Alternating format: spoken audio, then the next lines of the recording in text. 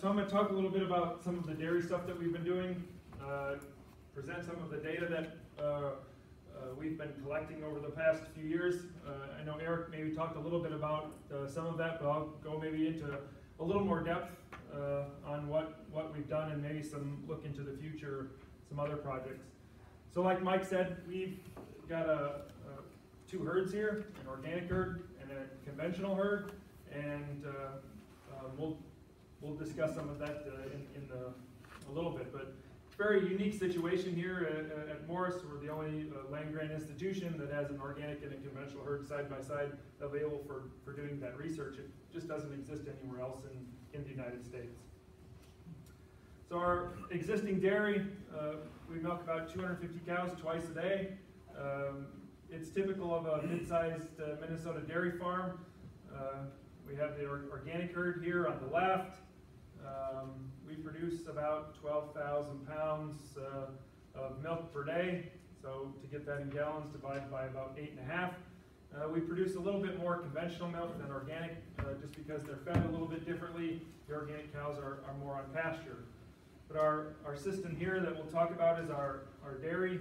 It was an old tie stall facility, so typical, there's Midwestern dairy. There's still a lot of cows milked in tie stall barns uh, in Minnesota, Wisconsin, all over yet. And uh, this is where we uh, have milked our cows, and uh, we'll be talking about some of the energy uh, things that we've done there. So this is our existing dairy. our, our barn out back has a existing manure lagoon, storage of over a million gallons of liquid waste. we have two bulk tanks uh, so milk storage tanks where we're able to store milk for our, our organic herd and our conventional herd. Uh, we'll talk about some of that data. Pretty typical uh, automatic washing system uh, where the, the lines are washed after every milking and sanitized and where we go through a lot of water per day. And then uh, some newer improvements that we've made on the outside of the barn are, are these solar panels and we'll see them in, in a tour in, in a little bit sort of an orientation. We've also uh, saw some new solar installations. So our way up here, I guess, is our dairy facility.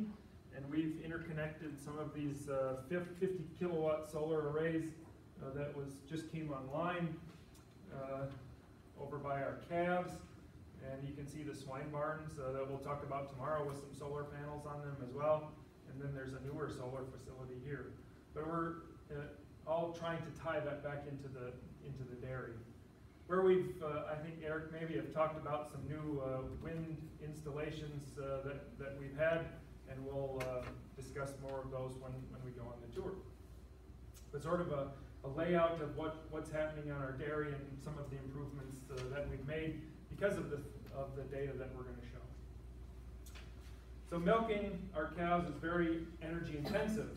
Um, we use uh, about 440 kilowatt hours per cow per year. Um, so it's uh, quite extensive for, for our dairy. We're using about 21 therms of natural gas per cow per year.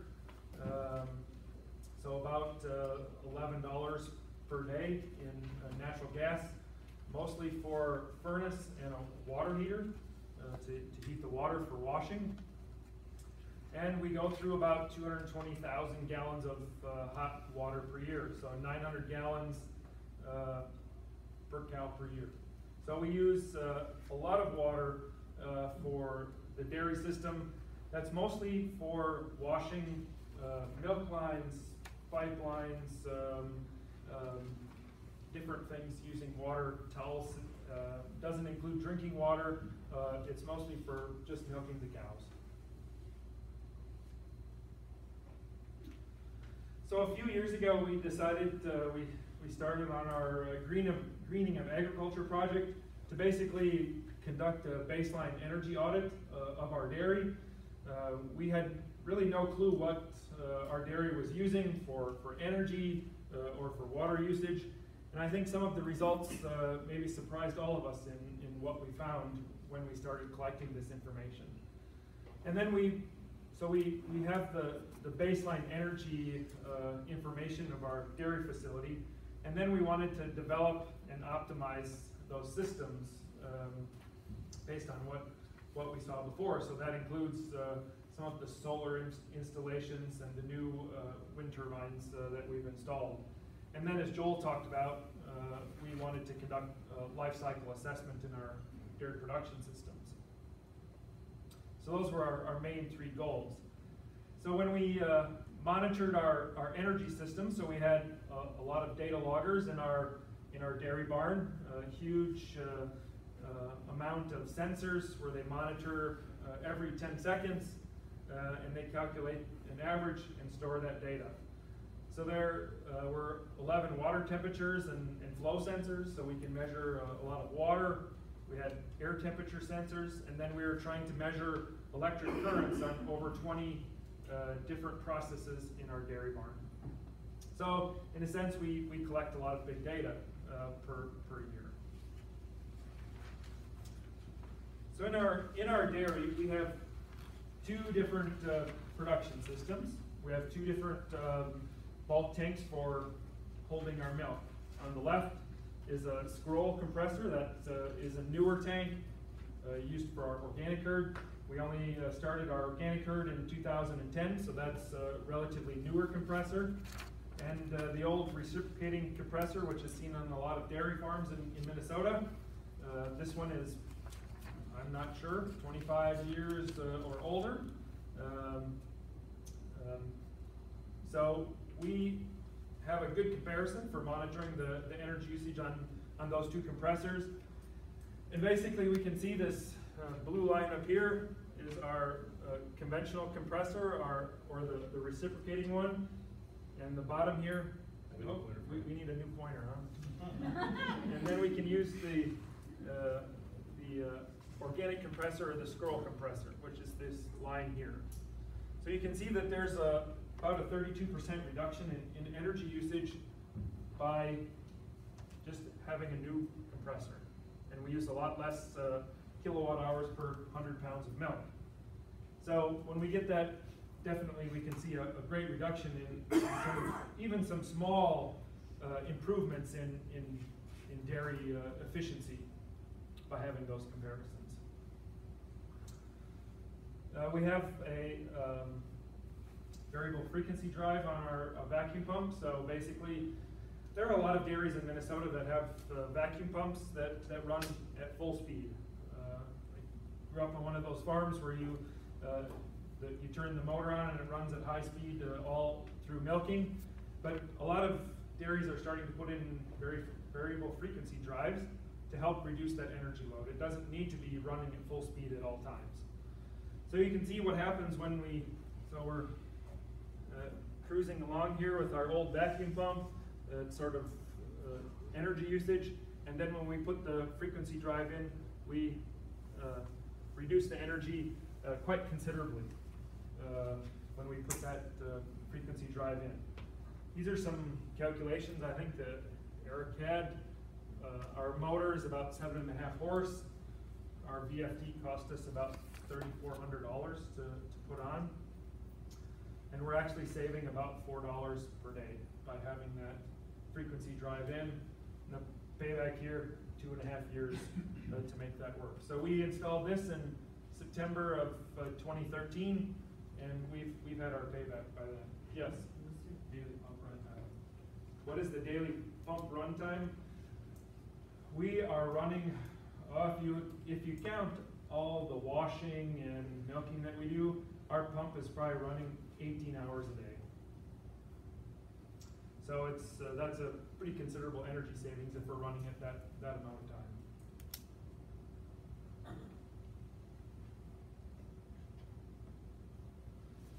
If we look at uh, hot water usage, this is when we first started uh, monitoring um, our dairy. Our water usage kind of has its ups and downs. So uh, you can see the different things that we have. We have a wash sink, so this is for washing our pipeline. We use a pressure washer to, to clean our milking parlor uh, after we're done milking, so we take a lot of water to, to clean that. Uh, we have some bulk tank washes and uh, machine washes. Um, we're washing towels, so we use towels to clean our cows. So we have some different spikes here, five or six o'clock in the morning. This is when uh, um, the system kicks on automatically to sanitize uh, before the, the milkers get here, uh, so we can start milking cows. Uh, milk truck might show up as well, six o'clock in the morning to pick up pick up some milk. So we're using uh, a lot more hot water, and that goes down. We maybe do some washing of our towels halfway through milking. But you can see when we get done milking, about 11 o'clock in the morning, we start washing our parlor and trying to wash the pipeline at the same time. So we, in a sense, really run out of hot water uh, because we use uh, a lot during that, that time period. And then in the afternoon here, this is a, a second sort of sanitized, getting ready for the evening milking. And then it sort of repeats the cycle all over again for the evening milking. So we, we have uh, differences in flow rates across our, our different milking times, uh, at least when we're milking twice a day. This is our, our monthly uh, water usage uh, when, when we started. Uh, this project, we were running about 1,100 gallons of water per day. Um, hot water, somewhere in that four, 350 to 400 gallons uh, per day. So quite, quite considerable amount of, of water. And over time, uh, we, we maybe have increased the amount of, of water that we use. We may milk a few more cows, um, but we sort of go in, in streaks of, of hot water usage. In the wintertime, we don't use as much hot water in the wintertime. We're probably milking less cows during that time period. We're sort of a two seasonal dairy herd, so we, we are probably our lowest in cow numbers over the winter time. But then about now and into July, we're probably milking our most cows because of our pasture-based system. So we use a lot more water uh, for milking, washing, cleaning up uh, than what we do in, in other times of the year. And our hot water usage goes up maybe around 450 gallons uh, per year. Some of the other ones are, are maybe not quite as significant. Pressure washer and the uh, wash sink use about 200 per uh, year uh, on average, or 200 per month, and um, some of the other bulk tank washers are a, a little bit lower than that. This is what our electricity average looks like uh, across the year. It's kind of uh, all over the place. This purple one up here, this top one that uses the most energy per day, is our conventional compressor. So our reciprocating compressor, using the most energy per day uh, on our dairy. So it's really not very efficient uh, to have that old compressor. Ventilation is the next one. So our ventilation goes up. We're using more fans uh, to keep uh, our workers and cows more comfortable uh, during while we're milking cows. So ventilation goes up uh, in the summertime because of heat, not so much in the wintertime. One big thing that uh, we like to notice is this green line. It spikes in the winter, goes down in the spring, sort of flat lines, and then goes back up again. Is an uh, electric heater that we'll talk about in a second. But for the most part, all these other uh, pressure washers and uh, organic compressors and things are right around that 25 or 30 kilowatt hours per day. So remember that uh, electric uh, spike that I that I showed you earlier. So this what happened. This is when we when we first started monitoring it. But I think the the question was what was going on in about November 11th in 2014. Uh, our kilowatt hours per day were right around 175 maybe, and then they almost doubled uh, in uh, energy usage. Well, oops, there's a lot of dairy farms in Minnesota that put these milk house heaters in their barns so they don't freeze the pipes, freeze the water pipes. You want to keep pipes from unfreezing, so you put those in there, and your energy usage doubles just by a, I don't know, forty dollar milk house heater that goes into, into the barn. So I think we need to figure out ways to reduce the usage of these space heaters. So if you people have space heaters in your office, this is how much energy you're using. You're doubling the energy usage by using a space heater. Um, so one of the things that we, we really didn't know about when, when we were started this project is how much energy we were actually using on our dairy because it just, when it gets cold, we just plug the space heater in because we don't want to freeze everything. So, but now we know that we're uh, utilizing a lot of energy by using those space heaters and we should look at different ways to uh, alleviate those problems. So our, our yearly uh, electricity, you can see in 2014, uh, doing pretty good. Oh, yep, we still use the space heater uh, to uh, unfreeze our pipes. Uh, we haven't quite figured out a way to not use that yet. Uh, so our, our energy usage does spike uh, quite significantly uh, because of that space heater. And it's actually the most consuming energy device at our dairy uh, during the winter months.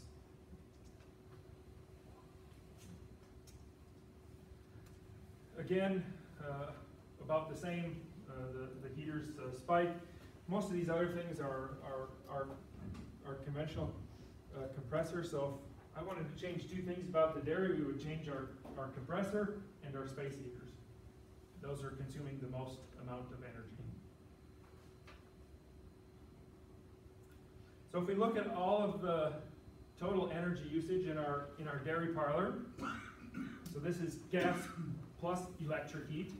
Uh, most of it is coming from milking parlor heat, so that's uh, basically to heat workers, to heat the milking parlor uh, during the winter time. Uh, when we're milking cows, water heating is the, is the second most, so trying to heat the water so we can wash uh, all of our, our equipment and wash down the parlor after milking. Milk cooling is about 10%, so uh, that's uh, the second, third most uh, highest energy usage. And there's other things that are sort of uh, intermediate here, not very much on some of the heaters, washer dryers, things like that.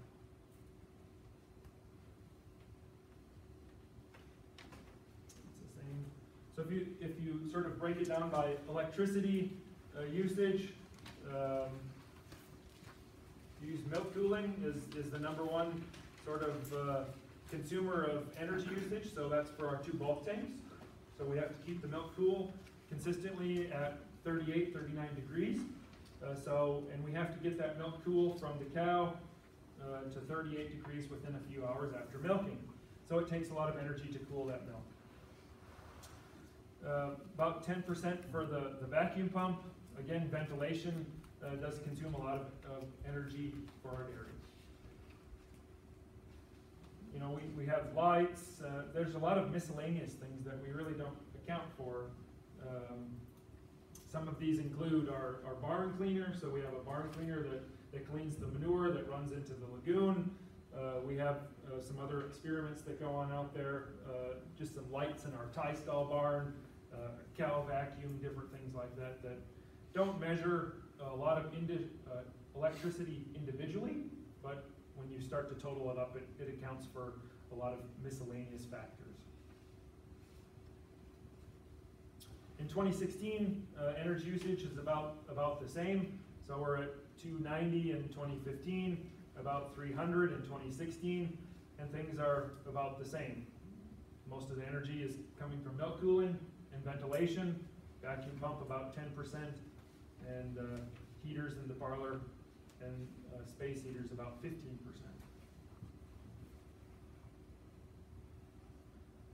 This is our, our total hot water usage for the day. We use, again, about 600 gallons total uh, per day. Most of that is coming from sanitizing our equipment. So this is washing after milking or sanitizing before we start milking. And then we use about 40% of the hot water to clean the parlor. So our pressure washer to wash down the parlor after we're done milking. So those are the two things that, that utilize the most water, hot water. and we're trying to do these at the same time. Uh, so that creates some issues with running out of hot water because we're trying to wash the parlor and sanitize and clean the equipment at the same time. In 2016, uh, about the same. Well, we're sanitizing equipment at 46. Now we may be using a little bit more. Obviously, these fluctuate depending on the year, depending on how many cows we have, uh, how much time we spend cleaning up, uh, but we're using about the same. Most of the hot water is being used to sanitize equipment uh, in our milking parlor.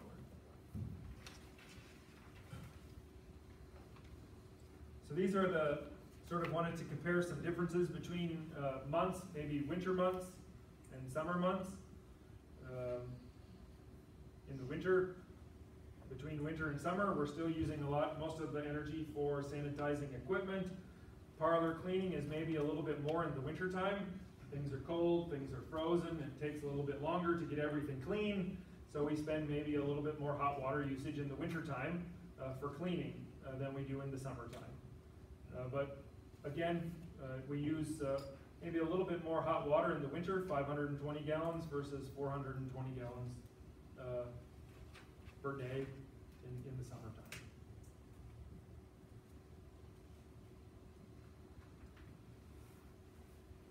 So this is what our, our energy fluctuation sort of looks like. Uh, basically, our, our water usage, again, what I've showed, goes up uh, in the summer months when we're, we seem to have a, a few more cows, and our energy usage goes down uh, because we're, we're, the winter time, we have a lot of ventilation uh, in our milking parlor. Electricity, so these are uh, basically some of our, our averages. Um, if we look at the natural gas, these are our totals that we, we had in 2015, using about 6.7 megajoules of natural gas per cow per day, uh, 1.3 kilowatt hours per cow per day, and uh, about six, a little bit shy of seven gallons of total water per cow per day.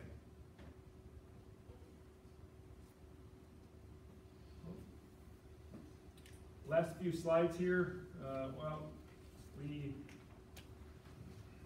talked about in, in, in January, again, uh, we use more hot water, about 1.62 gallons per cow per day in the wintertime, and only about a gallon per cow uh, in, in the summertime. So we, we tend to use more uh, in the wintertime, even though we milk less cows, uh, because the wintertime creates a lot more issues uh, with milking and things freezing, and it takes a little bit longer to clean. Uh, natural gas usage, usage. Here you can see in the summertime, uh, we use most of it in the wintertime for, for heating our parlor, parlor heat, and hot water. And in the summertime, it goes down uh, to about 200 therms per month. Then we sort of swing back up again. Electricity usage, usage uh, these are across the years. Again, you can see it does the same thing every year. It seems to spike about November when we turn the space heaters back on. And it, in the spring goes down quite considerably, maybe up a little bit more in, in the summertime when we're at full capacity on our cows. So the last few research, uh, sort of some uh, directions we're going. So we've just been approved by uh, uh LCCMR and it's been, uh, the bill has been signed by the governor uh, to look at future dairy energy research. Um, so we're going to evaluate uh, shade potential using solar systems for our, our pastured cattle. Uh, that will uh, basically look at us being able to field test some electric vehicles out here for, for use in, in dairy production systems by utilizing the solar panels to, to charge the electric vehicles. Uh, we're also going to put in a smart two-level charging station uh, probably not batteries, but uh, being able to become in the network for uh, fast charging systems. And then we're going to actually monitor energy and water usage on different dairy farms uh, in the state of Minnesota. To actually look at what's going on in the state, uh, look at different uh, production practices, some with robotic dairies, another smaller pasture-based dairy, and, and some uh, mid-sized dairies as well, to see how we can actually monitor their energy use and try and help dairy farmers in Minnesota reduce their, uh, their carbon footprint. So in a sense, this is what we're going to do, use solar to shade cows, not sheep, but it's a good picture. Uh, and then uh, basically charge uh, cars and electric vehicles for, for use in dairy production systems. So we thank uh, LCCMR for providing funding uh, for that. And with, with that, I think we'll uh, have any questions, so we'll, and we'll be able to see more of this stuff over, over there when we go on the tour and, and talk about that as well. So thank you.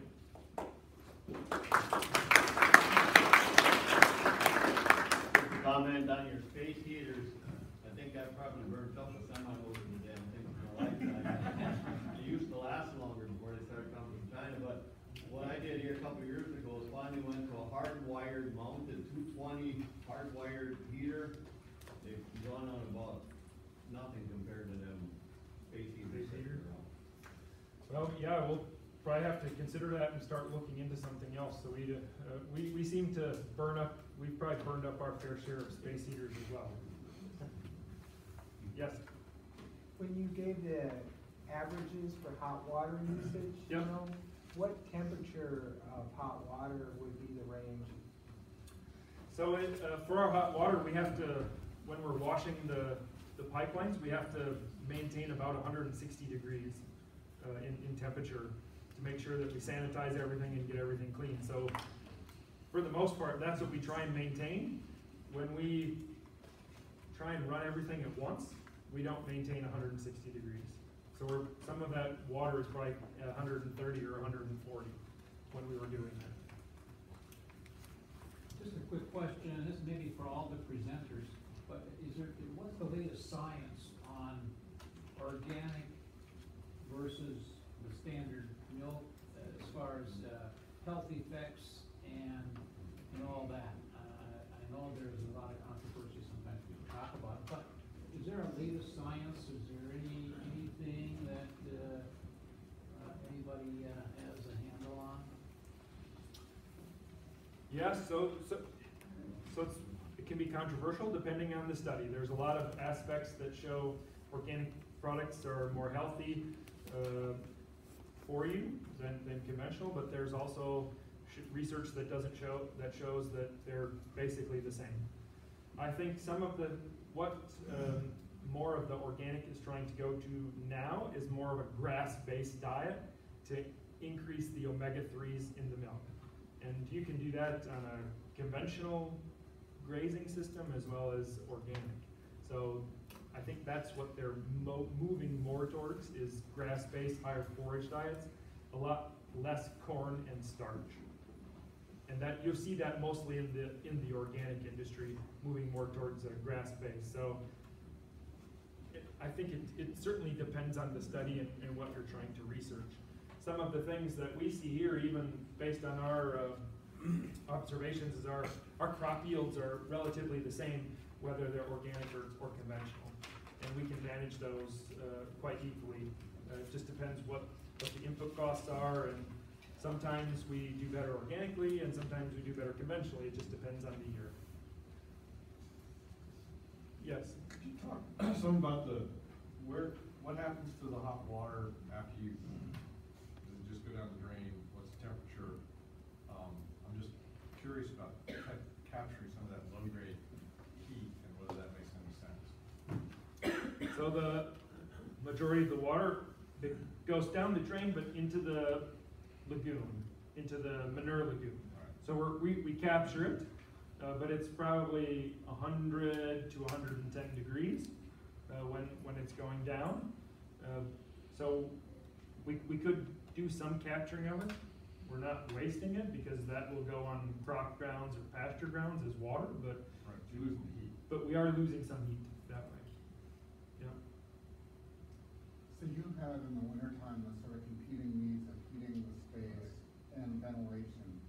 So I've got two questions on that. Have you used any energy recovery ventilation on that at all? The ERV units that recapture, uh, some of the heat, uh, essentially out of the humidity. Right. uh, On the exhaust. And you've used frequency drives on your vacuum pump. Have you used them on your makeup air units that you're using for ventilation to operation while we're at level? Uh, you have a good question. Uh, answer is no, we don't, we, we're not recovering any of that heat, uh, in lost ventilation. Obviously, it's, some of it is being exhausted out into the, into the, into the world. And yeah, we're not using any other frequency drives, uh, as far as on, on, on those systems as well. Brad, perhaps this is an opportunity to talk about the age of the area and the proposal for the new areas that St. Paul is here at West. Yes, our, our, our facility is, uh, the facility that we'll go into is an old tie-style barn, It was built in nineteen seventy-three, I think. So it's, a lot of the upgrades have happened, uh, by putting things in and, and making it work. Uh, so yeah, I think there's a proposal with, and if you wanna talk, the, the dean is here, he probably knows a lot more about it than, than all of us, but there's a proposal to include Morris and St. Paul in a new sort of dairy research facilities, uh, at, at both places to upgrade our research capacity and our building needs, uh, to, and, and here it would include a lot more renewable energy aspect uh, into, into the milking parlor. Here, for us, it's just a milking parlor, and in St. Paul, it's a, a lot more facility. Yes, question? So for your electric vehicle, um, project that you just got funding for, Yes. is that gonna be just conventional cars, or you gonna, or pickups, or are you gonna have any, um, agri, you know, farm kinds of vehicles? Equipment Well, right now, uh, in, for, for our system, we use a lot of, uh, ATVs, so uh, John Deere Gators, that's, or Kubotas, that's what we have now. Uh, for, you know, feeding cattle, uh, moving animals, our, our space is quite large here. So we, we use a lot of those for moving animals back and forth between pastures or different things like that. So that's the first thing that we're gonna go to is, is utilizing electric ATVs, cause we, we put a lot of hours and a lot of, uh, fuel through those. Uh, and then we're, we're also, we're gonna get a, a, an electric car, car, an all-electric vehicle to, uh, at least utilize when we're out monitoring energy on dairies and utilize that for our, our station needs as well. But as far as other things, tractors, those, we, we haven't quite gone down that route yet. We're gonna explore it on a more smaller scale first, uh, before we, uh, maybe get, get any bigger.